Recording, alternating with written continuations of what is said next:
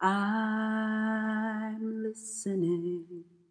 I am listening. Spirit, speak to me. I'm listening. I am listening. Spirit, speak to me. My ears are wide open. My eyes are now open to see what I may be.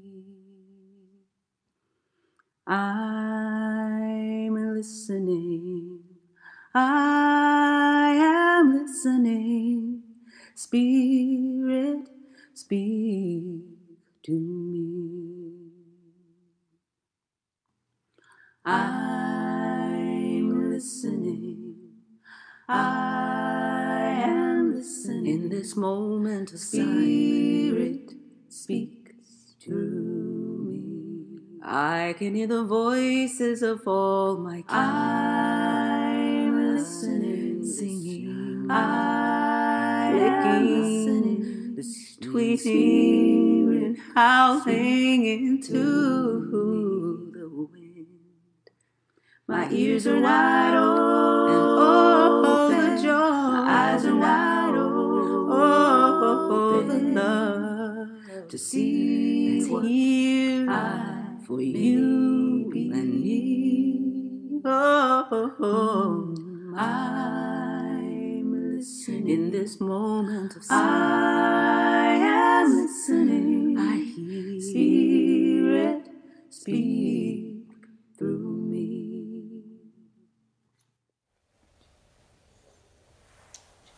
Did you sleep well? Can I ask you a favor?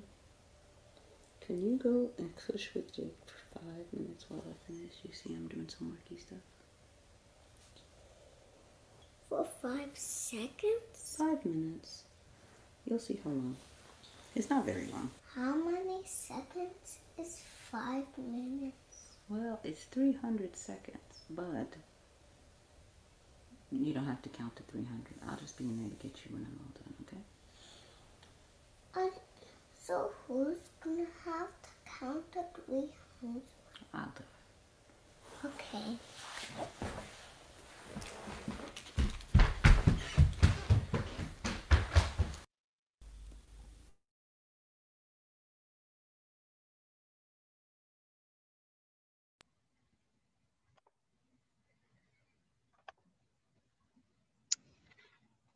Meditation hymn this morning by Leah Morris. You who are parenting or otherwise caring for children and trying to work at the same time might see yourselves and your behind the scenes reflected the end of her offering.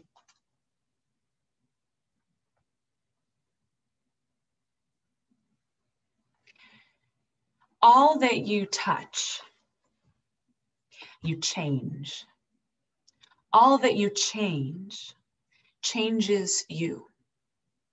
The only lasting truth is change. God is change. Thus begins the science fiction novel, The Parable of the Sower by Octavia Butler.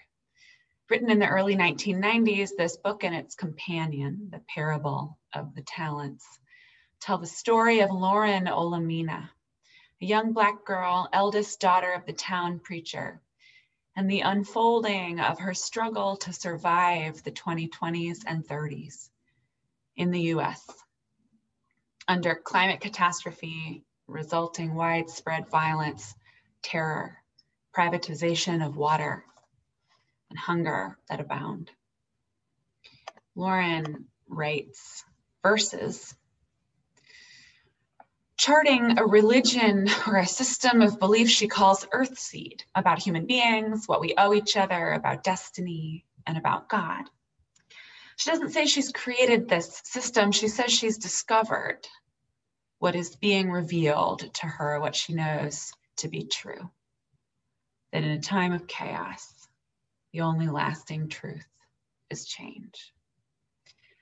So after her family dies and her town is burned to the ground, she journeys north, gathering followers using these principles of Earthseed. They learn, struggle, change, grow, plan, survive, and try to treat each other humanely in an inhumane time. Lauren says this about God, writing to herself in her journal, wrestling with these questions. She says, A lot of people seem to believe in a big daddy God or a big cop God or a big king God. They believe in a kind of super person. A few believe God is just another word for nature. And nature turns out to mean just about anything they happen to not understand or feel in control of. Some say God is a spirit, a force, an ultimate reality. Ask seven people what all of that means, and you'll get seven different answers. So, what is God? Just another name for whatever makes you feel special and protected? There's a big early season storm blowing itself out in the Gulf of Mexico. It's bounced around the Gulf, killing people from Florida to Texas and down into Mexico. There are over 700 known dead so far, one hurricane. And how many people has it hurt? How many are going to starve later because of destroyed crops? That's nature. Is it God? Lauren is asking high stakes questions here. I suggest to you that theology is important only when it asks high stakes questions questions about human nature, about suffering, about comfort, about meaning, questions about what we are, what shapes us into people who are living more fully, more humanely in our time in history with its particular and specific inhumanity. John Murray preached about universal salvation in a time when many people were very concerned about hell, actively concerned about who was saved and who was damned. And perhaps some of you have experienced the very real psychological torment of fearing your own eternal damnation. And so you can understand why those questions about God are crucial, crucial questions about human beings too. And then, therefore, have serious implications for how we treat each other. At the same time, Early mm-hmm. European arrivals to this continent seeking their own religious freedom turned to their religion to justify killing native people and displacing them, turned to their religion to justify enslaving people. What good are questions about God if they're not also questions about us and how we ought to live?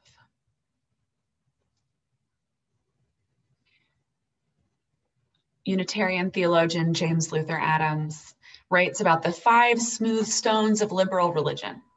And by liberal religion, he means religion concerned with freedom, primarily the freedom of belief, but also the freedom of real human beings in their lives.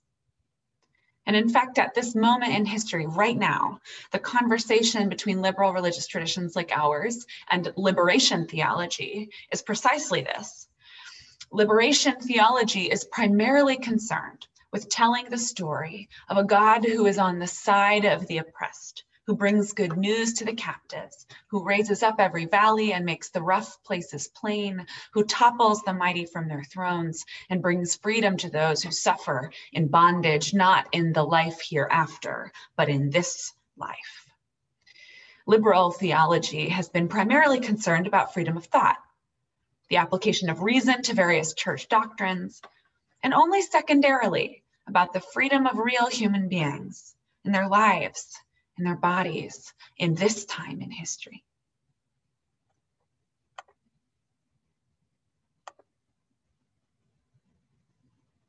So these five smooth stones that Adams writes about are drawn from the story of David and Goliath in the Hebrew Bible where David, the small Israelite boy, fells the giant Goliath with five smooth stones in his hand, and the mightiness of the God of his people, sparing the armies of the Israelites and the Philistines much bloodshed.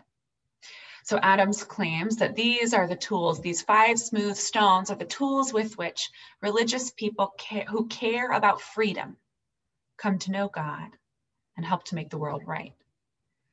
In this sermon series over the next few months, we'll examine and allow history and our present reality to complicate and complement these five smooth stones and we'll discover for ourselves what is it that echoes through the ages.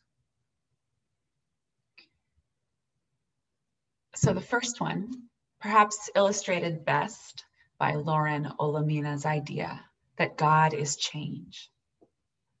Religious liberalism depends on the principle that revelation is continuous. Adams writes the first tenet of the free person's faith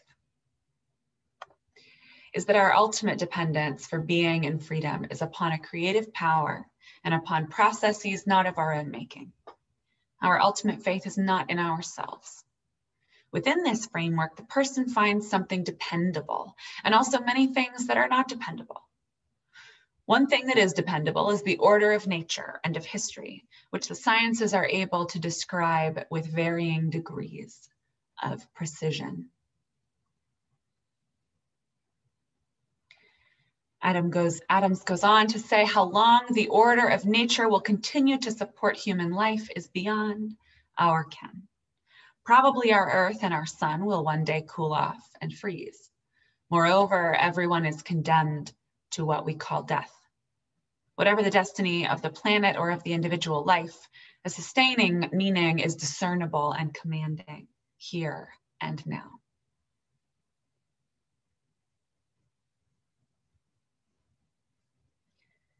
Every blade of grass, every work of art, every scientific endeavor, every striving for righteousness bears witness to this meaning. And indeed, every frustration or perversion of truth, beauty, or goodness also bears this witness as the shadow points around the sun.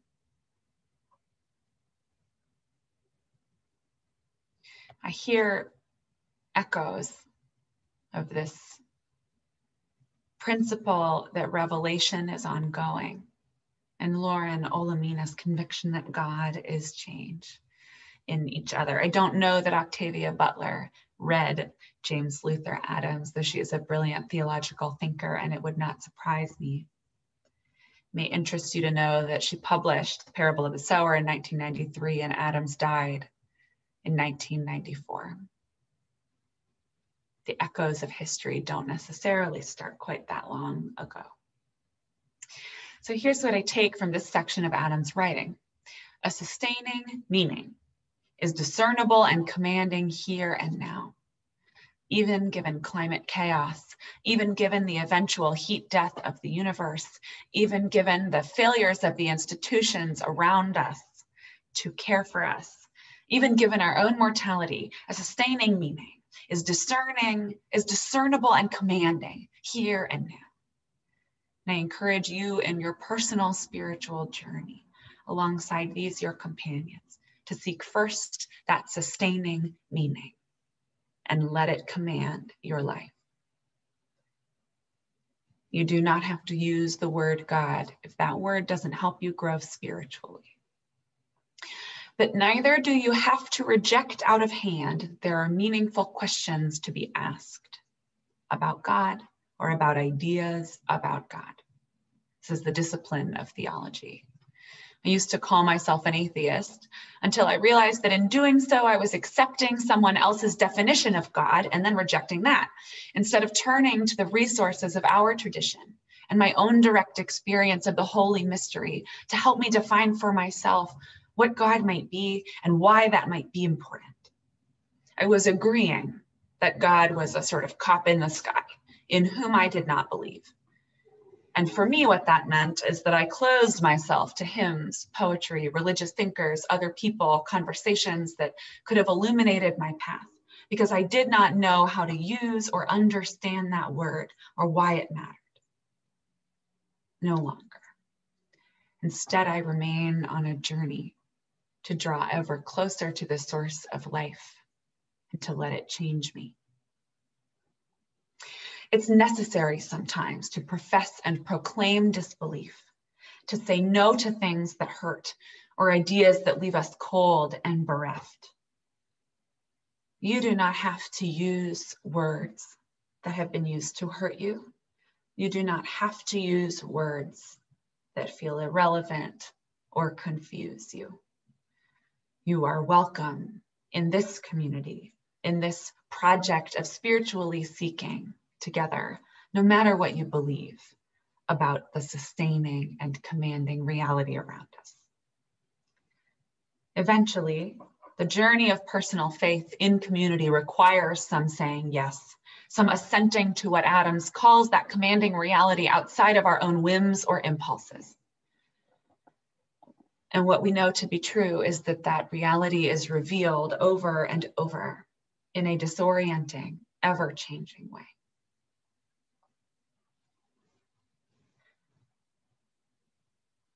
There is change and possibility yet in this city, in this town, in this moment in history. There is new life always being breathed into us, in our lives, in the concepts we have inherited, into our traditions, into our neighborhoods, blowing like the wind that kept John Murray ashore. Did Murray believe that it was God in the winds, an active God intervening in his life? Did he believe it was fate did he believe it was weather? I don't know. What I do know is that the winds blew. And Murray listened to the commanding reality that was before him. And it changed his life. Revelation is continuous, not only in our living tradition, not only in our ideas about God, but in your very life. There is always, always something possible, even after loss, even after terrible injury, even after the divorce, even after your dream has died, even after you've started drinking again, even after your friends have betrayed you, even after eviction or after deportation, after imprisonment, after assault, after you are the one who has done the worst thing, the unimaginable thing. Even then, more is possible. More is being revealed. Some people have begun celebrating February, Black History Month, as Black Futures Month. New life is being breathed into the ghosts and rebellions of history. Black people in this practice of celebrating Black future are claiming birthright freedom, are examining the lessons of history to dream of a flourishing future, celebrating not only the accomplishments of yesteryear, but predicting, divining, co creating the changes about to be birthed. There are political and creative movements all around us. We saw glimpses this summer in the riots and rebellions and marches. Freedom movements are a part of ongoing revelation, too. Freedom movements arise when people who live in conditions of bondage, inheriting the legacy of stolen labor, stolen land, stolen wealth, stolen autonomy, feel the freedom that is all, always already theirs as human beings on a personal level, a spiritual level, a collective level, and then rise up together to make it material, make it political, give it shape in this place, in this time, in history. And perhaps for all of us the world over, there is something else possible, something more just, something more loving, something more free, reaching for us now, inviting our participation, being revealed, calling us by name. Is there something like that at work in your life? Is there something unfolding something being revealed, something calling to you, something deep and real, maybe something beyond sense, but something you know to be true. Some way you are being called forward to conspire with the eternal, something that is begging to be born. Revelation is ongoing at every level of our lives. And a great and terrifying gift of living, of turning toward that commanding reality, is that we are an active part in it. May you be strengthened to answer that call wherever the winds of change blow you. And so may we all. Amen. Will you join me in our hymn number?